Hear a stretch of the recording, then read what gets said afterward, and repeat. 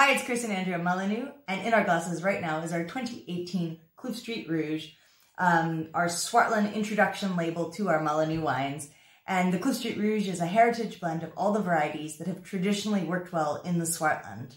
So it's a, a blend of uh, Syrah, Cinsault, Carignan, Grenache, um, all varieties that, that thrive in the warm, dry conditions we have here in the Swartland.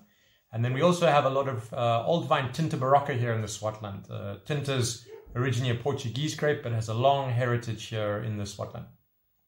This wine was inspired by when we were living in the south of France and drinking bistro wines that would go with anything we were eating. So we wanted to make something spicy and complex. Um, so we get that from blending all the varieties together.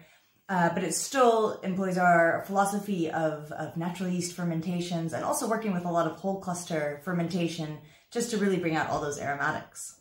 So on the nose, you pick up a lot of uh, spice from the Syrah. You get a, a, nice floral perfume from the Cinsault. The Carignan brings a nice bright red fruit and, and a nice crunchy fresh acidity.